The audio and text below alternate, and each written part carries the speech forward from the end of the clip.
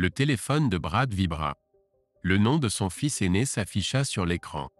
Le gamin avait besoin de parler quelque chose à propos de problèmes au paradis après seulement trois ans de mariage. Infidélité suspectée.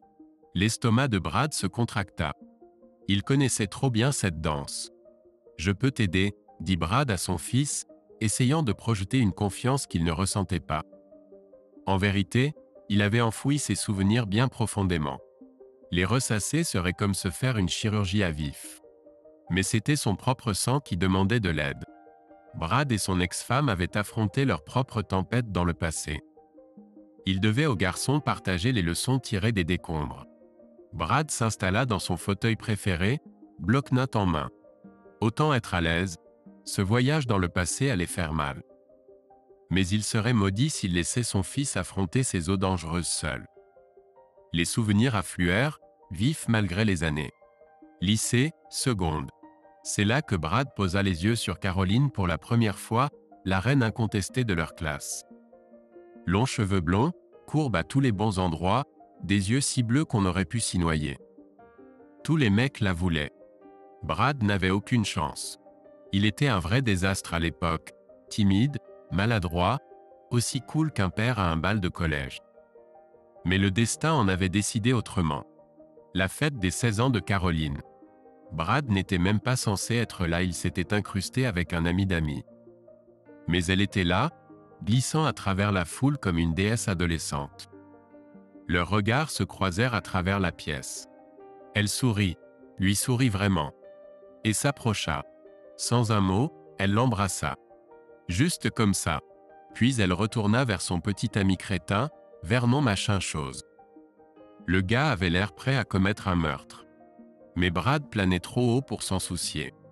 Il était fou amoureux, dévoué à une fille qui ne savait même pas qu'il existait. C'était comme dans un film pour ado ringard.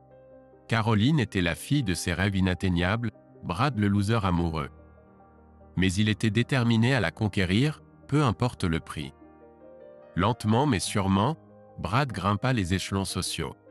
Le soir du bal de promo, ils étaient juste tous les deux.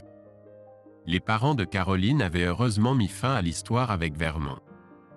Ils scellèrent leur destin cet été après le diplôme, ivres d'amour jeune et de promesses éternelles. Brad se sentait invincible. Si seulement il avait su ce qu'il attendait. Brad partit à la fac communautaire cet automne-là, poursuivant son rêve de devenir prof de maths. Caroline s'est fixée comme objectif de devenir infirmière, emménageant dans une résidence à l'un des grands hôpitaux du centre-ville. 20 miles aurait aussi bien pu être 20 000. Les quatre années suivantes ont été un véritable manège. Entre les cours et le travail, Brad avait à peine le temps de respirer, encore moins de cultiver une relation. Mais la vie avait d'autres projets pour mettre à l'épreuve sa force de caractère. Son vieux a eu un malaise au travail un jour, une hémorragie cérébrale massive. Les médecins ont dû lui ouvrir le crâne, enlever des morceaux de son cerveau. Il en est resté une bosse visible depuis l'espace la société a donné à papa une maigre indemnité de départ et l'a mis à la porte. Comme ça, le soutien de famille devenait l'ombre de lui-même, affalé dans son fauteuil jour après jour. Maman a dû prendre le relais, laissant à Brad la charge de s'occuper de ses frères et sœurs plus jeunes. Son frère Todd a dérapé, séchant les cours et faisant chuter ses notes. Brad a perdu le compte du nombre de fois où il a dû sortir le gamin de situations délicates. Puis il y avait Suzanne, sa petite sœur. Trop jolie pour son propre bien, elle attirait tous les mauvais regards. Brad passait la moitié de son temps à jouer les gardes du corps, chassant les types deux fois plus âgés qu'elle. Mais le coup de massue est venu de sa mère. Avec papa essentiellement absent, elle a commencé à filer en douce vers le bar du coin pour des activités extrascolaires. Brad n'était pas idiot. Il savait ce que signifiaient vraiment ces soirée tardive au travail. Son père le savait aussi. L'homme fier n'a jamais dit un mot, mais Brad pouvait voir la douleur dans ses yeux. C'était comme le voir mourir à petit feu. Lorsque papa a finalement rendu l'âme, quelque chose s'est brisé en maman. Elle est devenue un fantôme, errant dans la maison dans un brouillard de chagrin et de culpabilité. Pendant ce temps, la relation entre Brad et Caroline a connu quelques turbulences. Ils se sont séparés plusieurs fois, réussissant toujours à arranger les choses. Mais avec le recul, Brad a réalisé que ces pauses étaient probablement Caroline qui testait d'autres options. Il a essayé d'ignorer les doutes lancinants, les soupçons qui le rongeaient. Mais un jour, la paranoïa a eu le dessus sur lui. Il a commencé à appeler le dortoir de Caroline de manière obsessionnelle pour être systématiquement bloqué par ses colocataires. Ils lui ont raconté que Caroline était trop bouleversée pour parler, pleurant à chaudes larmes à cause de son comportement de goujat. C'était des conneries et Brad le savait. Il n'avait jamais été autre chose que gentil avec elle. Le désespoir l'a poussé à surveiller son dortoir, espérant la prendre sur le fait.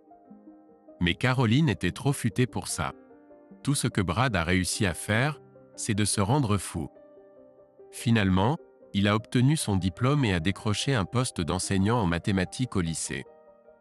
Caroline a décroché un super boulot dans une clinique pédiatrique près de leur ville natale. Ils se sont mariés, ont eu un mariage parfait et ont filé vers le coucher du soleil. Quelques mois plus tard, Caroline a lâché la bombe de la grossesse. Leur premier enfant, un garçon qu'ils ont nommé d'après Brad.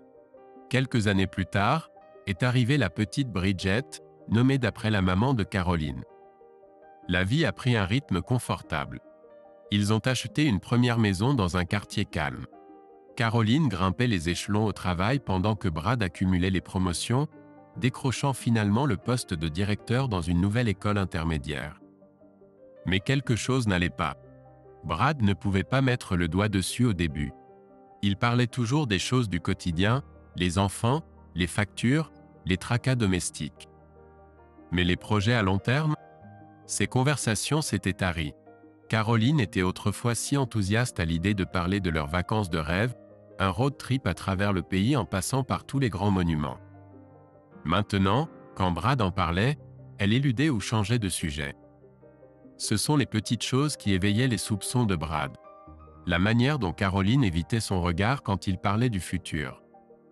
Le léger changement dans son langage corporel.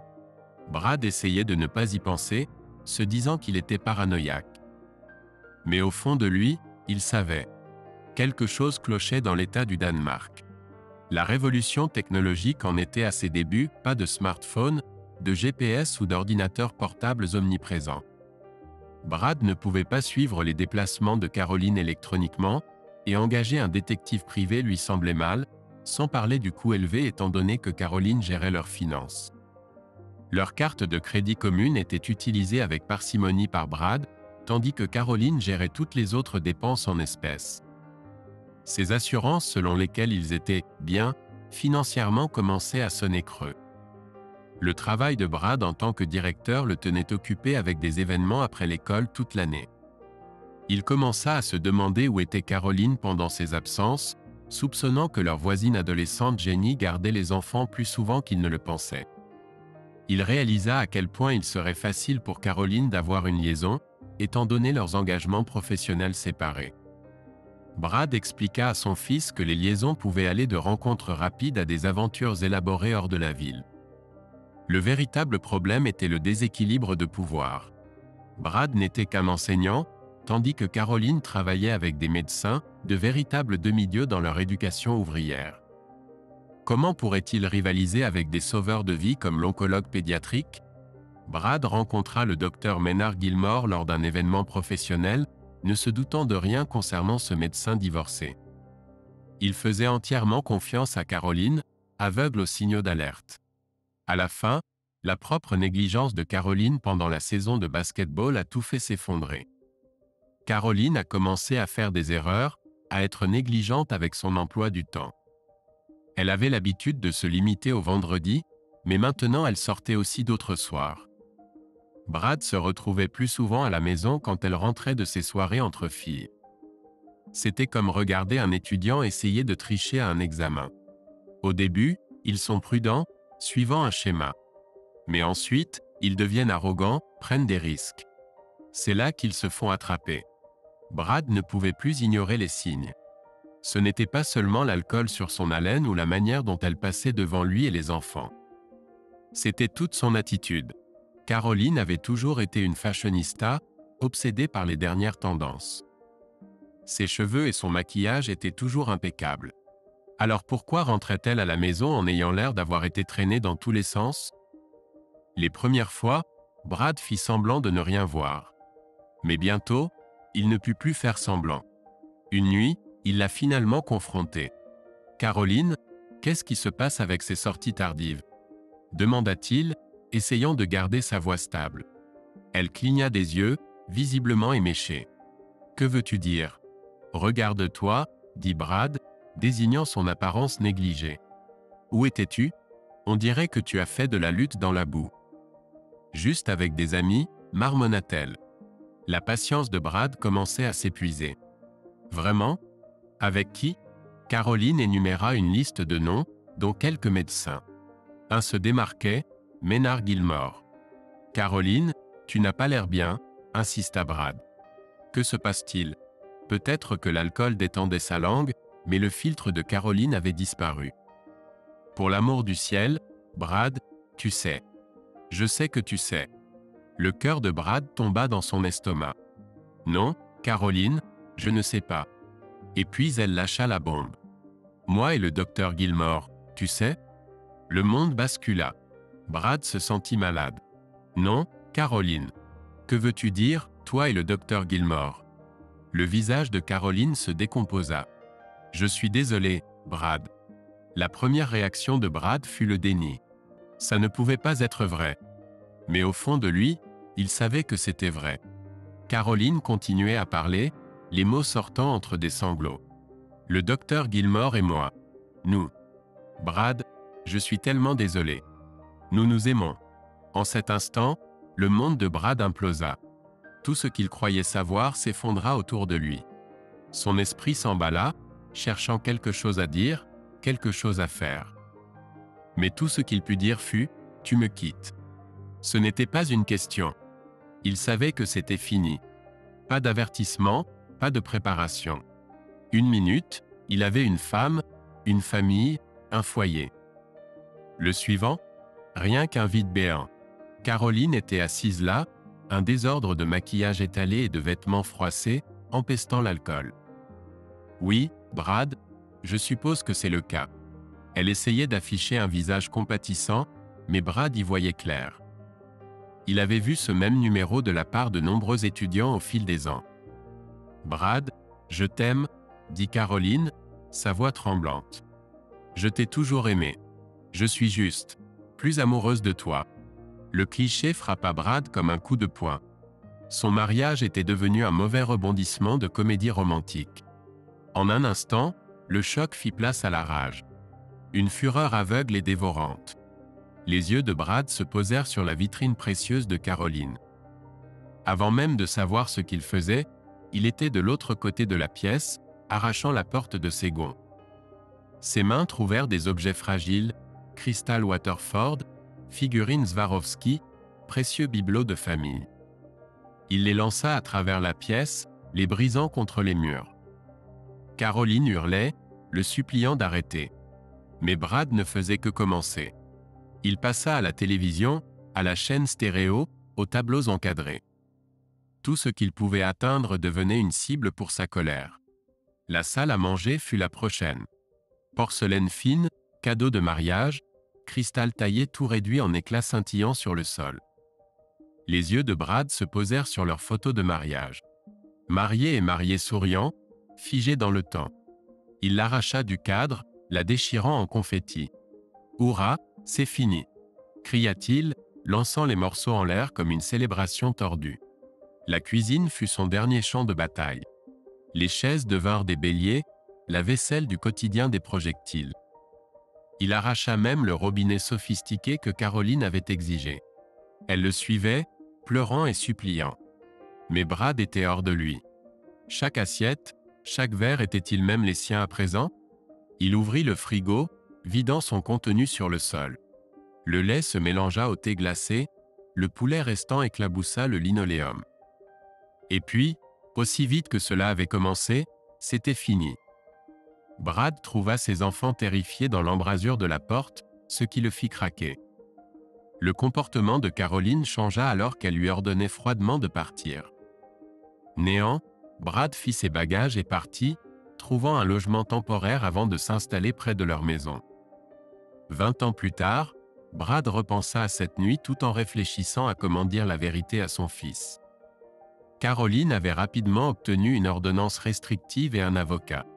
Lors des négociations, Brad chercha des réponses, mais la réponse cruelle de Caroline le dévasta. Elle révéla ses vrais sentiments, avouant ne jamais l'avoir vraiment aimé et détaillant ses infidélités. Bien que écrasé, Brad sentit quelque chose d'étrange dans le discours de Caroline. Il semblait répéter, avec des nuances de culpabilité sous la cruauté. Il réalisa que Caroline luttait avec ses propres problèmes, l'ayant utilisé comme un substitut tout ce temps. À la fin de sa confession vicieuse, la haine de Brad s'était transformée en vide. Caroline était désormais morte à ses yeux, une réalisation qu'elle voyait clairement dans son regard. Le règlement du divorce laissa Brad étourdi. Caroline obtint la maison et la moitié de leurs économies, tandis que Brad se contenta d'une pension alimentaire raisonnable et d'un droit de visite limité. Il avala sa fierté pour éviter les drames au travail, laissant à Caroline son emploi et sa nouvelle relation. Le sincère adieu de Brad à Caroline tomba à plat, et les choses empirèrent lorsqu'elle empoisonna les enfants contre lui. Mais de petites grâces émergèrent. La famille de Brad l'aida à obtenir un condo décent, et le remariage hâtif et la grossesse de Caroline ramenèrent involontairement les enfants vers Brad. Le travail devint un champ de mines de rumeurs et de perte de respect. L'estime de soi de Brad chuta, le menant à une beuverie de six mois de rencontres sans lendemain et de comportements autodestructeurs.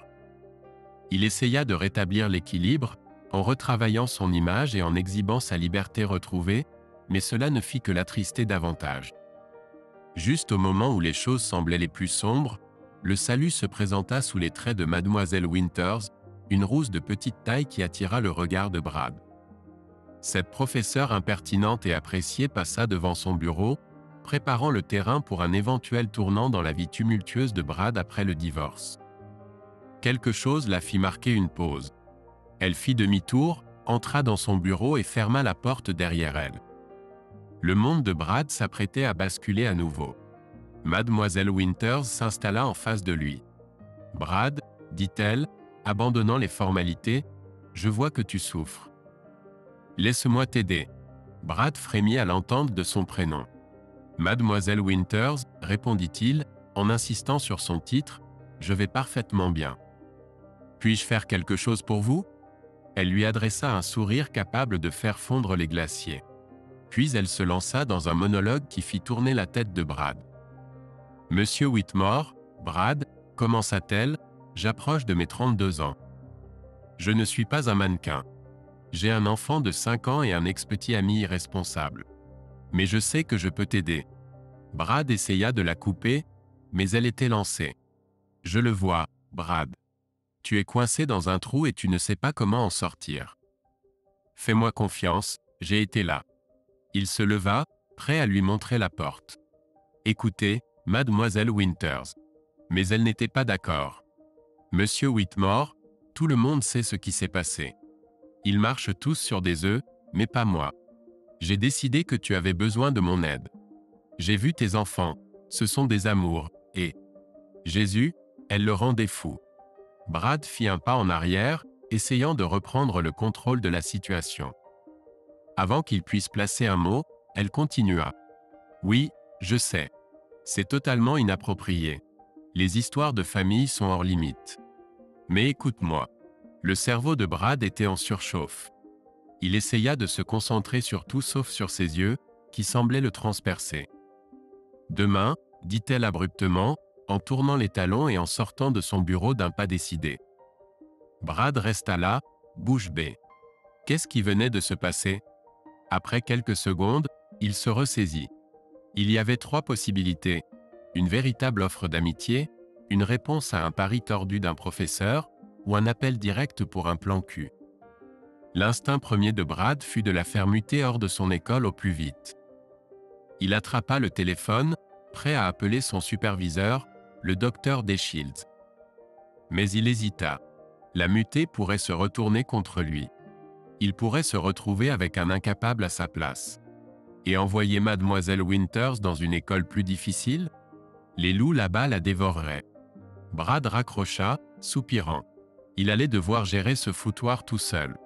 Le lendemain, mademoiselle Winters fit son entrée en ayant l'air d'avoir pillé le rayon, libraire sexy, d'un magasin d'Halloween. Fini le tweed informe habituel. À la place, un chemisier vert soyeux qui faisait écho à ses yeux et une jupe laissant peu de place à l'imagination. Toutes les têtes de l'école se tournèrent sur son passage. Ouais, pensa Brad, elle est clairement à mes trousses. Elle semblait apparaître près du bureau principal à chaque fois que Brad se retournait. C'était ridicule. En fin de journée, alors que Brad se dirigeait vers sa voiture, elle l'attaqua. Mais tu as porté ces cartons? demanda-t-elle, toute innocente. Une fois les cartons chargés dans sa voiture, elle se mit sur la pointe des pieds et lui donna un baiser sur la joue. J'espère te voir vendredi après l'école, murmura-t-elle. Je t'attendrai devant Denise. Brad essaya de la stopper. C'est une mauvaise idée. Je pourrais perdre mon travail. Elle se contenta de sourire. Seulement si je me plaignais. Et ça n'arrivera jamais. Avec un clin d'œil, elle ajouta Tu as besoin de quelqu'un. Je pense pouvoir t'aider. Brad lui dit qu'elle était folle. Elle se contenta de sourire plus largement. C'était mercredi. Brad passa jeudi et vendredi à l'éviter, mais il ne put s'empêcher de jeter des coups d'œil furtifs quand elle ne regardait pas. Il devait admettre que, aussi menue qu'elle soit, elle était agréable à regarder. Rien à voir avec son par exemple. Le vendredi arriva, froid et glacial. Brad était sûr que mademoiselle Winters ne serait pas assez bête pour attendre dans un parking gelé au cas où il se montrerait. Mais la curiosité l'a emporté sur lui. Il est passé devant le Denise, juste pour vérifier. Là, elle était, frissonnant dans le froid. Zut Brad s'est arrêté, prévoyant de lui faire la morale en la raccompagnant à sa voiture. Mais à mesure qu'il s'approchait, elle rayonnait et commençait à le diriger vers l'entrée du restaurant. Je pense que tu es du genre grand slam, a-t-elle ri. Brad grogna, je ne peux pas rester longtemps. Peut-être juste un café. Elle lui serra le bras. On verra ça. Alors qu'il s'installait dans une cabine, l'esprit de Brad s'emballait. Les affaires entre professeurs et élèves étaient aussi vieilles que les écoles elles-mêmes, mais elles impliquaient généralement au moins une apparence de discrétion. Il en avait surpris quelques-unes au fil des ans, comme ce jour où il était entré sur une jeune enseignante, divertissant, le directeur du département d'anglais dans la salle des livres. Ils s'étaient dispersés comme des cafards à la lumière, et rien de plus n'avait été dit. Est-ce que mademoiselle Winters voulait Une liaison secrète sordide? Brad ne pouvait imaginer autre chose.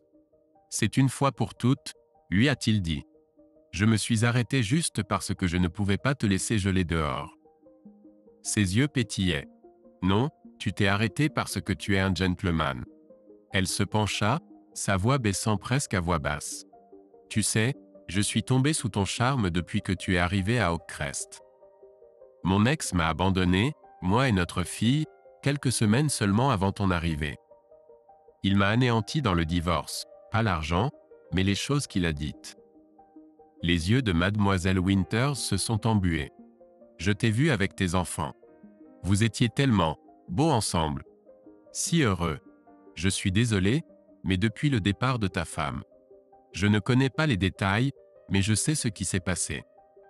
Elle tendit la main à travers la table, saisissant celle de Brad. S'il te plaît, laisse-moi t'aider. Brad devait lui donner ça. Mademoiselle Winters n'y allait pas par quatre chemins. Elle posait ses cartes sur la table, sans retenue. Pourtant, Brad sentait qu'il devait lui remettre les idées en place.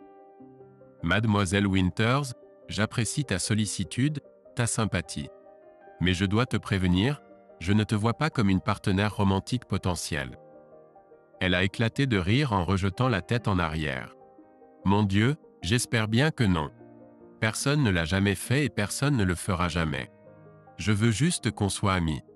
Nous sommes des âmes sœurs, Brad. J'ai traversé ce chaos. Nous pouvons échanger nos histoires de guerre. Je sais que je peux t'aider. Brad était abasourdi. D'abord, il réalisa que son commentaire sur son manque d'attrait l'avait blessé, et ce n'était même pas vrai. La moitié des hommes et la plupart des garçons de l'école étaient fous d'elle. Deuxièmement, il était assez sûr qu'elle mentait en disant qu'elle ne voulait pas de romance. Et troisièmement, peut-être avait-il besoin de son aide. Il fit marche arrière. Je ne voulais pas dire que tu n'es pas belle. Tu l'es, vraiment beaucoup. Dans toute autre circonstance, je serais certainement intéressé. Mais nous sommes collègues. J'ai une école à diriger. Oui, nous pouvons être amis. Mais restons professionnels aussi. Elle hocha la tête, un sourire jouant sur ses lèvres. Organisons une rencontre. J'amènerai ma petite fille, tu amèneras tes enfants. Nous pourrons discuter. Brad se surprit à remarquer de petits détails chez elle, la longueur de ses cils, les clous d'émeraude à ses oreilles, la façon dont une mèche de cheveux au burn tombait sur son œil gauche. Il dut résister à l'envie de la remettre en place. D'accord, dit-il. Choisis un jour et une heure. Mademoiselle Winters leva les yeux, puis regarda de nouveau Brad. Pas ce week-end. Et le samedi prochain? À toi de décider quoi et où. Non, répliqua Brad. C'est à toi de décider. Elle sourit. Non, tu es l'homme. C'est à toi de décider. Brad n'avait pas entendu ce genre de discours depuis des années. Il essaya de ne pas bomber le torse. D'accord, samedi prochain. Je te ferai part du plan la semaine prochaine. Ils se levèrent, se serrèrent la main. Brad l'accompagna jusqu'à sa voiture, une Volkswagen en piteux état, bien loin du goût de Caroline en matière de véhicule. À sa voiture, ils se serrèrent de nouveau la main. Brad l'aida à monter, la regardant s'éloigner en conduisant. Dès qu'elle fut hors de vue, le doute s'insinua. Brad regarda sa montre, réalisant qu'il devait rentrer chez lui avant l'arrivée des enfants. Ce soir-là, après avoir couché les enfants, Brad fit l'erreur de ressortir de vieilles photos de lui et de Caroline. Quand elle était partie, elle n'avait emporté que des photos des enfants, laissant derrière l'album de mariage. Brad feuilleta les souvenirs, une boule se formant dans sa gorge. Avant même de s'en rendre compte, il se mit à pleurer. Il savait qu'il devait mettre fin aux choses avec mademoiselle Winters avant même qu'elle ne commence. Lundi matin, Brad était de corvée dans le couloir quand mademoiselle Winters arriva pour récupérer son courrier. Son visage devait le trahir, elle pâlit en le voyant. Brad prit peur. Affichant un sourire forcé, il s'approcha d'elle. Bonjour, dit-il fort, peu importe qui entendait. Il y a une patinoire près de chez moi. Nous pourrions emmener les enfants patiner, puis déjeuner chez moi. Enseignants et élèves passaient en se pressant, faisant semblant de ne pas écouter. À la fin de la journée, toute l'école saurait que M. Whitmore et Mademoiselle Winters étaient ensemble. Mademoiselle Winters semblait incertaine. L'expression initiale de Brad l'avait visiblement effrayée. Je n'ai jamais appris à patiner, hésita-t-elle. Et ma fille Brad toucha doucement sa main. Parfait. Je vais t'apprendre. Elle se détendit enfin, un sourire sincère se dessinant sur son visage. D'accord, faisons-le. Le lendemain était la réunion mensuelle de la faculté. En entrant dans la cafétéria, Mademoiselle Winters, Brad fit discrètement un signe de tête à la table la plus proche de lui. Elle comprit le message et s'assit à l'avant. Brad en avait fini de se cacher les gens allaient quand même jaser. Il voulait que tout le monde sache qu'il s'agissait d'amitié, pas d'une affaire sordide. La réunion s'éternisait comme d'habitude. Les chefs de département radotaient, le directeur sportif pontifiait. Lorsque Brad a donné la parole pour les questions, les plaintes habituelles ont afflué. Pourquoi ne faisons-nous pas respecter le code vestimentaire? Ne pouvons-nous pas demander aux enfants de nettoyer leurs propres dégâts à la cafétéria? Je refuse d'assister à des réunions qui commencent par une prière. Brad écoutait patiemment, rappelant à tous de vérifier les fermetures d'écoles sur la station de radio locale. Il a conclu en réitérant qu'ils étaient tous là pour enseigner. En regardant son personnel, les pensées de Brad divaguaient. Il réfléchissait au débat sur la prière à l'école, aux quelques enseignants qu'il ne supportait pas, et aux petits groupes qu'il avait surnommés en privé, les chasseurs de tête, ceux qui semblaient vivre pour attraper les enfants en train de transgresser les règles. Une vieille chouette particulièrement méchante lui vint à l'esprit. Elle ne savait pas enseigner, mais elle connaissait le règlement sur le bout des doigts. Brad se souvint du jour où elle avait traîné une petite fille jusqu'à lui, lui montrant triomphalement son manteau, en cuir, une violation claire de la politique du district. La pauvre enfant était au bord des larmes. Monsieur Whitmore, c'est du daim, pas du cuir, avait-elle gémi. Brad avait souri à la fillette, pris le manteau. C'est bon, ma puce. Puis, fixant la vieille bique d'un regard d'acier, il avait grogné. Vous avez entendu. Manteau en daim. L'enseignante était partie boudeuse, sous les rires des autres enfants dans le couloir. Plus tard ce jour-là, une feuille imprimée était apparue sur le bureau de Brad, la définition du daim dans le dictionnaire, surlignée en jaune fluo. Vraiment mature. Ensuite, il y avait les fanatiques de la prière, un groupe de vieilles dames qui insistaient pour que chaque assemblée commence par un bon vieux « cher Seigneur ». Brad n'était pas contre, mais cela froissait certaines plumes. Quelques jeunes enseignants avaient menacé de boycotter le service d'assemblée si les prières se poursuivaient. Brad avait calmement accepté puis les avait réaffectés au service de la cafétéria, le neuvième cercle de l'enfer scolaire. Il a ri en imaginant qu'ils esquivaient les tâteurs tots volants et la viande mystère pendant 25 minutes par jour. Pourquoi s'attardait-il sur ces petits tyrans? Parce que la plupart d'entre eux avaient une haine particulière pour mademoiselle Winters. La pauvre China était constamment traînée devant un ou une autre adjoint principal pour ses méthodes d'enseignement non conventionnelles. Elle osait organiser des simulacres de procès dans sa salle de classe. Elle emmenait les enfants en sortie scolaire. Elle allait même jusqu'à horreur. Les laisser aller aux toilettes pendant les cours. En d'autres termes, China Winters était tout ce que la foule du ⁇ ce n'est pas mon travail ⁇ méprisée créative, innovante et se souciant réellement des enfants. D'accord, peut-être que Brad avait un faible pour mademoiselle Winters. S'il jouait cool, gardait les choses discrètes, personne ne pourrait se plaindre. Il pouvait avoir une amie, non? Faux. Tout a dérapé à partir de là. Le rendez-vous de patinage sur glace était une comédie d'erreur. Brad n'avait pas patiné depuis le divorce. Bridget n'avait jamais appris. Brad Jr. était le seul à ne pas passer plus de temps sur les fesses que sur les lames. China et sa fille Laura étaient comme des poulains nouveau-nés sur la glace. Même Brad a fait quelques chutes. Mais bon sang, c'était le moment le plus amusant qu'il ait eu depuis des années. Après la patinoire, ils sont retournés chez Brad pour une pizza maison et un marathon de films Disney. Même Brad Jr., trop cool pour l'école, s'est pris au jeu. Avant même de s'en rendre compte, Brad sortait vraiment avec China. Mais elle insistait pour que toute leur sortie inclue les enfants. Cette femme était authentique. China a tout expliqué aux enfants de Brad. Elle ne cherchait pas à remplacer leur mère, elle voulait juste être l'amie de Brad et aider autant qu'elle le pouvait. Brad attendait toujours que l'autre chaussure tombe, que quelque chose tourne mal. Mais rien ne s'est passé. Sa vie ne faisait que s'améliorer. Alors qu'il prenait des notes pour son fils, Brad a réalisé qu'il y avait plus à l'histoire de China qui méritait d'être racontée. Qui était-elle, vraiment? Qu'avait-elle vécu? Comment était-elle devenue une partie si essentielle de leur vie? Brad Jr en savait une partie, mais il y avait des lacunes à combler. Brad se souvenait des suites de son divorce, la solitude, l'amertume, le désespoir, le sentiment rongeur d'insuffisance. C'était le genre de douleur qui pouvait vider une personne de l'intérieur. Il se demandait constamment où il avait failli. En tant que pourvoyeur Père Amant Caroline ne lui avait jamais donné de réponse claire. Brad avait désespérément cherché une clôture, une sorte d'explication. Mais elle n'est jamais venue. D'une manière ou d'une autre, China avait perçu tout cela. Elle semblait comprendre à un niveau que Brad ne pouvait pas imaginer. Se confier à elle n'avait pas été facile. La confiance de Brad envers les femmes avait été brisée. Il était même allé jusqu'à faire une vérification des antécédents sur China après leur premier vrai rendez-vous.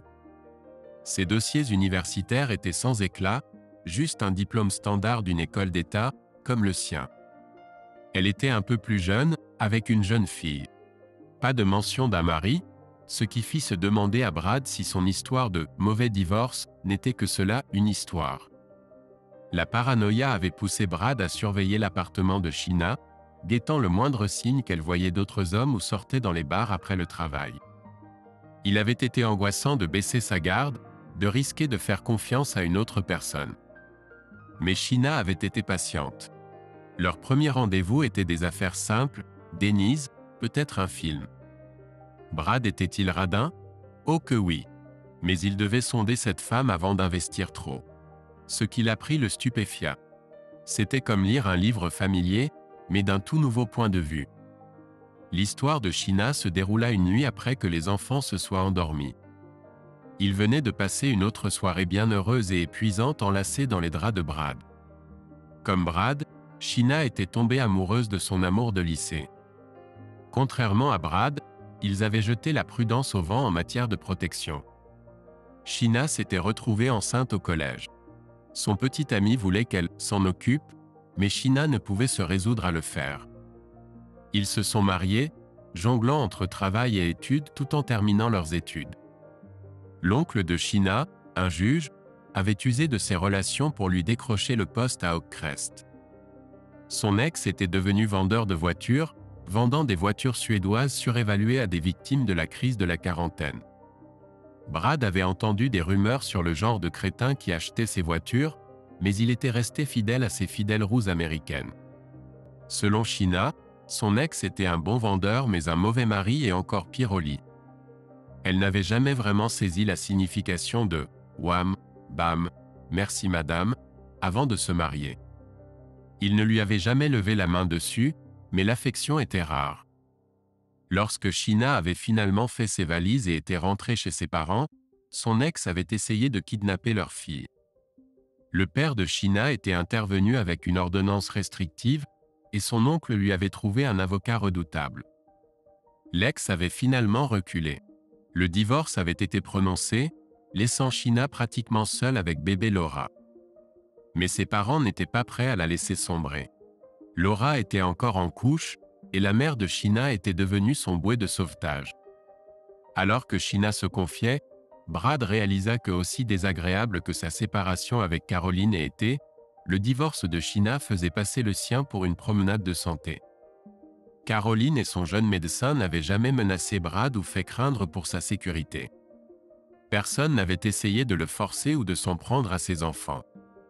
Cela a frappé Brad comme une tonne de briques, il était tombé éperdument amoureux de China. Et cela lui faisait une peur bleue. Il était terrifié à l'idée de mettre son cœur en jeu à nouveau. Mais China a su percer ses défenses. Elle a raconté à Brad les agissements de son ex, son comportement de Jekyll et Hyde. Une minute, il était en colère, lui disant qu'il avait trouvé quelqu'un de plus attirant, plus riche, meilleur au lit. La minute suivante, il était en larmes, disant que China méritait mieux que lui, qu'il avait besoin de quelqu'un qui n'avait pas peur de se salir les mains. Quand la poussière est retombée, l'ex de China a avoué toutes ses liaisons. Il avait trompé parce que c'était excitant, une aventure. Il savait qu'il pouvait s'en sortir. Il a dit à China qu'elle était ennuyeuse, qu'il ne supportait pas l'idée d'être coincé avec elle pour toujours. En écoutant, Brad a réalisé que l'ex de China débitait les mêmes bêtises que Caroline lui avait lancées. C'était comme s'il avait tous un manuel de l'infidèle d'où ils tiraient leurs excuses. Mais l'ex de China et Caroline avaient eu raison sur un point. Aucun d'eux ne méritait la personne qu'ils avaient trahie. En entendant l'histoire de China, Brad a enfin compris pourquoi Caroline avait pris la fuite. Ce n'était pas une question de carrière, d'argent ou de statut. C'était parce qu'au fond, Caroline savait que Brad était la meilleure personne. C'était elle qui avait failli, pas lui. Brad a convaincu China de quitter son appartement et de venir vivre avec lui et Laura. Quelques semaines plus tard, ils ont réuni les enfants pour la discussion. Les mômes l'ont mieux pris que prévu. Peu de temps après, Brad et China se sont passés la bague au doigt. Ce fut une petite cérémonie, juste leurs parents, les frères et sœurs de Brad et leurs enfants, ainsi qu'une poignée d'amis enseignants. Mais c'était parfait. Brad aimait China de tout son être. Il avait retrouvé le bonheur, trouvé sa moitié. Et il était assez sûr que China ressentait la même chose. Ses sentiments envers Caroline avaient changé. La haine avait disparu, remplacée par de la pitié. Alors que la vie de Brad était en plein essor, celle de Caroline semblait être en chute libre. Elle avait déjà eu un enfant avec le docteur Gilmore, mais apparemment, il n'était pas tout ce qu'elle avait rêvé. On disait dans les rues que Caroline avait encore une fois changé pour un chirurgien cardiaque de renom. Brad ne savait pas quoi penser de tout cela. Lui et Caroline avaient fréquenté pendant près de six ans et étaient mariés pendant une douzaine avant qu'elle ne mette fin à tout cela. Elle n'avait même pas tenu trois ans avec Gilmore. Brad était sûr qu'il y avait plus à l'histoire, mais une chose était cristalline. Caroline était une femme abîmée. Caroline divorçait à nouveau Installée avec un chirurgien cardiaque? Oui, et la rumeur disait qu'elle était heureusement heureuse, cette fois-ci. Mais avec Caroline, qui savait combien de temps cela durerait. Brad avait appris sa leçon à la dure. Il avait cru avoir toute une fois auparavant, pour le voir s'effondrer en poussière. Cette fois, il savait qu'on lui avait donné une seconde chance, et il n'était pas prêt à la gaspiller. Alors que Brad terminait ses notes pour son fils, il se rendait compte qu'il restait des fils à attacher. Qui était Shina, vraiment? Quel démon avait-elle affronté? Comment était-elle devenue une partie si intégrale de leur famille? Une partie, Brad Junior. Le savait déjà. Mais il y avait des lacunes à combler, des choses que son fils devait entendre. Brad se souvenait de la solitude écrasante après le divorce, de l'amertume qui menaçait de le consumer. Il se sentait inadéquat, inférieur. C'était le genre de douleur qui pouvait dévorer une personne de l'intérieur. Il avait passé d'innombrables nuits à se demander où il avait failli. En tant que pourvoyeur En tant que père En tant qu'amant Caroline ne lui avait jamais donné de réponse claire. Brad avait désespérément cherché une conclusion, une sorte d'explication. Mais elle n'était jamais venue. D'une manière ou d'une autre, China avait perçu tout cela. Elle semblait comprendre à un niveau que Brad ne pouvait pas imaginer. Se confier à Shina n'avait pas été une partie de plaisir. La confiance de Brad envers les femmes avait été réduite en miettes.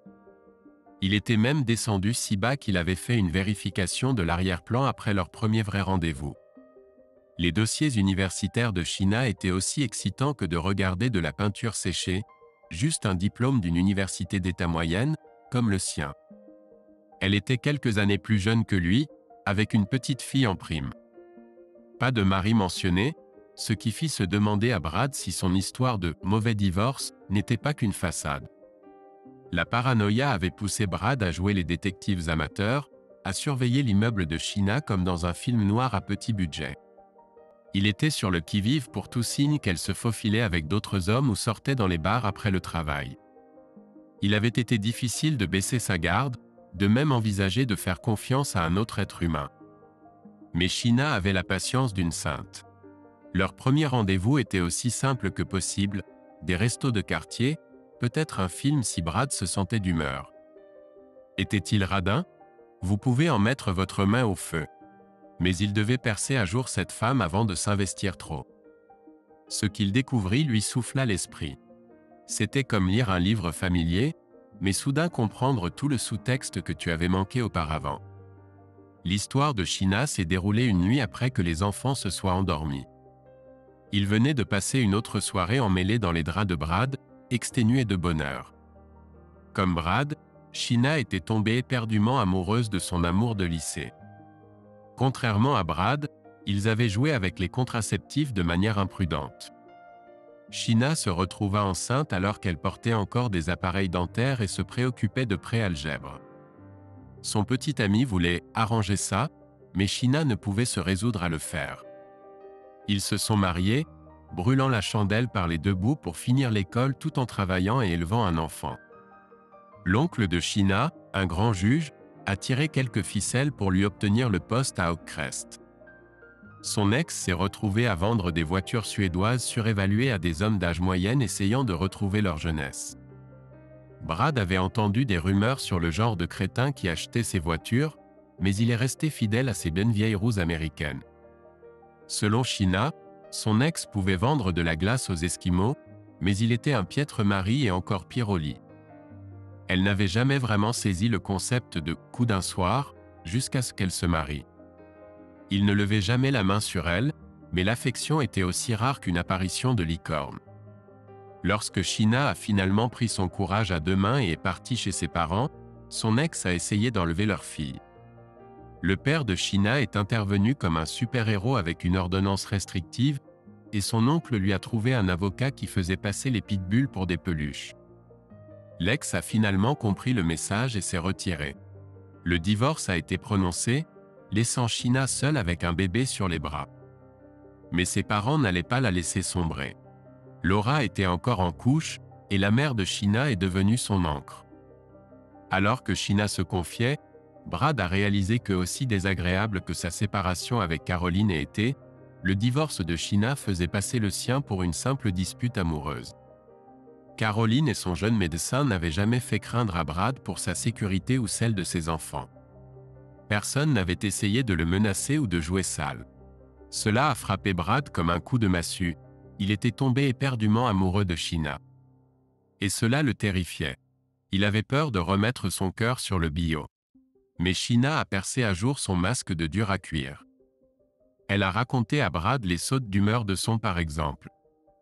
Une minute, il était en furie, se vantant de sa nouvelle conquête plus chaude, plus riche et plus dévergondée. Le lendemain, il serait un vrai désastre, disant que Shina était trop bien pour lui, qu'il avait besoin de quelqu'un qui n'avait pas peur de se salir les mains.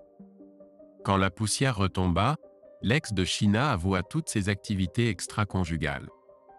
Il avait trompé parce que cela lui procurait une montée d'adrénaline, le faisait se sentir vivant. Il savait qu'il pouvait s'en sortir. Il dit à Shina qu'elle était aussi excitante que de regarder l'herbe pousser, qu'il ne pouvait supporter l'idée d'être enchaîné à elle pour la vie. En écoutant, Brad réalisa que l'ex de Shina lisait le même scénario que Caroline.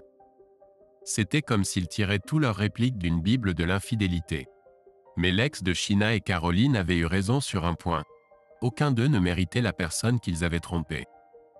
En entendant l'histoire de Shina, Brad comprit enfin pourquoi Caroline avait appuyé sur le bouton d'éjection. Ce n'était pas une question de carrière, d'argent ou de statut. C'était parce qu'au fond, Caroline savait que Brad était la meilleure moitié. C'était elle qui avait fait une erreur, pas lui. Brad convainquit Shina de quitter son petit appartement et de venir vivre avec lui et Laura. Quelques semaines plus tard, ils réunirent les enfants pour la discussion. Les marmots le prirent mieux qu'ils n'osaient l'espérer. Peu de temps après, Brad et Shina se dirent oui. Ce fut une cérémonie sans chichi, juste leurs parents, les frères et sœurs de Brad et leurs marmots, ainsi qu'une poignée d'amis enseignants. Mais c'était parfait. Brad aimait Shina de toutes les cellules de son corps. Il avait trouvé le bonheur deux fois, retrouvé sa pièce manquante. Et il était assez sûr que Shina ressentait la même chose.